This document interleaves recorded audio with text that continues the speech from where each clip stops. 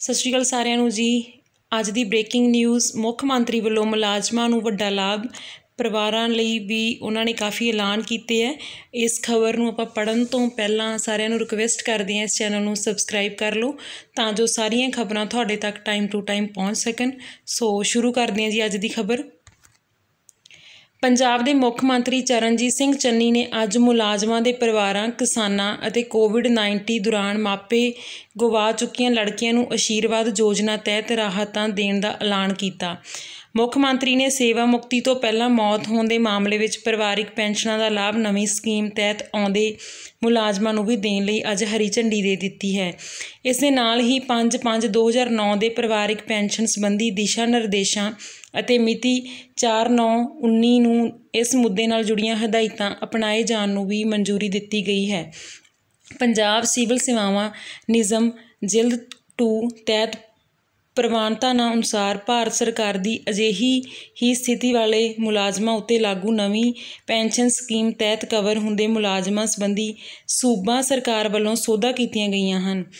ਜ਼ਿਕਰਯੋਗ ਹੈ ਕਿ ਮੁੱਖ ਮੰਤਰੀਆਂ ਨੇ ਇਸ, ਮੁੱਖ ਮੰਤਰੀ ਨੇ ਇਸ ਫੈਸਲੇ ਨੂੰ ਲਾਗੂ ਕਰਨ ਲਈ ਵਿੱਤ ਵਿਭਾਗ ਦੀ ਉਸ ਤਜਵੀਜ਼ ਲਈ ਸਹਿਮਤੀ ਦਿੱਤੀ ਹੈ, ਜਿਸ ਨੂੰ ਮੌਜੂਦਾ ਵਰੇ 26 ਅਗਸਤ ਨੂੰ ਮੰਤਰੀ ਮੰਡਲ ਵੱਲੋਂ ਮਨਜ਼ੂਰੀ ਦਿੱਤੀ ਗਈ ਸੀ। ਮੁੱਖ ਮੰਤਰੀ ਚਰਨਜੀਤ ਸਿੰਘ ਚੰਨੀ ਨੇ ਸਨਿਚਰਵਾਰ ਨੂੰ ਰੇਲਵੇ ਬੋਰਡ ਦੇ ਚੇਅਰਮੈਨ ਨੂੰ ਅਪੀਲ ਕੀਤੀ ਕਿ ਕਿਸਾਨਾਂ ਖਿਲਾਫ ਰੇਲਵੇ ਪ੍ਰੋਟੈਕਸ਼ਨ ਫੋਰਸ ਵੱਲੋਂ ਦਰਜ ਕੀਤੇ ਗਏ ਮਾਮਲੇ ਫੌਰੀ ਵਾਪਸ ਕਰ ਲਏ ਜਾਣ। ਮੁੱਖ ਮੰਤਰੀ ਦਫ਼ਤਰ ਦੇ ਬੁਲਾਰੇ ਨੇ ਦੱਸਿਆ ਕਿ ਚੰਨੀ ਨੇ ਰੇਲਵੇ ਬੋਰਡ ਦੇ ਚੇਅਰਮੈਨ ਨੂੰ ਇਸ ਬਾਰੇ ਮਾਮਲੇ ਤੇ ਹਮਦਰਦੀ ਨਾਲ ਵਿਚਾਰ ਕਰਨ ਅਤੇ ਵੱਖੋ ਵੱਖੀ ਵੱਖੋ ਵੱਖ ਕਿਸਾਨ ਜਥੇਬੰਦੀਆਂ ਦੇ ਮੈਂਬਰ ਖਿਲਾਫ ਕਰ ਕੇਸ ਦਰਜ ਵਾਪਸ ਲੈਣ ਦੀ ਅਰਜ਼ੋਈ ਕੀਤੀ ਹੈ। ਜ਼ਿਕਰਯੋਗ ਹੈ ਕਿ ਕੇਂਦਰ ਸਰਕਾਰ ਦੁਆਰਾ ਲਾਗੂ ਖੇਤੀ ਕਾਨੂੰਨ ਵਿਰੁੱਧ ਜਾਰੀ ਅੰਦੋਲਨ ਦੌਰਾਨ ਅਤੇ ਵੱਖੋ ਵੱਖ ਕਿਸਾਨ ਜਥੇਬੰਦੀਆਂ ਦੇ ਮੈਂਬਰ ਦੇ ਪੰਜਾਬ 'ਚ ਪਿਛਲੇ ਸਾਲਾਂ ਮੌਜੂਦ ਵਰੇ ਰੇਲਵੇ ਟਰੈਕਾਂ ਦੇ ਧਰਨੇ ਦਿੱਤੇ ਗਏ ਸਨ। ਇਸ ਦੇ ਨਤੀਜੇ ਵਜੋਂ ਆਰਪੀਐਸ ਵੱਲੋਂ ਉਹਨਾਂ ਖਿਲਾਫ 30 ਕੇਸ ਦਰਜ ਕੀਤੇ ਗਏ ਸਨ। ਮੁੱਖ ਮੰਤਰੀ ਨੇ ਕੋਵਿਡ-19 ਮਹਾਮਾਰੀ ਦੌਰਾਨ ਮਾਪਿਆਂ ਤੋਂ ਮਹਿਰੂਮ ਹੋ ਚੁੱਕੀਆਂ ਲੜਕੀਆਂ ਨੂੰ ਆਸ਼ੀਰਵਾਦ ਸਕੀਮ ਦੀਆਂ ਲਾਭਪਾਤਰੀਆਂ ਵਜੋਂ ਸਾਲਾਨਾ ਆਮਦਨ ਸੀਮਾ 32790 ਰੁਪਏ ਤੇ ਛੋਟ ਦੇਣ ਦਾ ਮਾਫ ਕਰਨ ਦੇ ਆਦੇਸ਼ ਦਿੱਤੇ ਹਨ।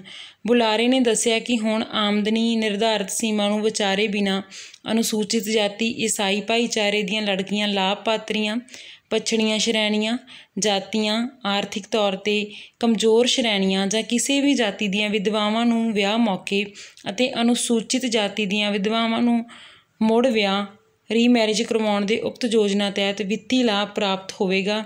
ਸ਼੍ਰੀ ਚੰਨੀ ਨੇ ਕਿਹਾ ਕਿ ਸਕੀਮ ਦੇ ਹੋਰ ਨਿਯਮਾਂ ਵਿੱਚ ਕੋਈ ਬਦਲਾਅ ਨਹੀਂ ਕੀਤਾ ਜਾਵੇਗਾ।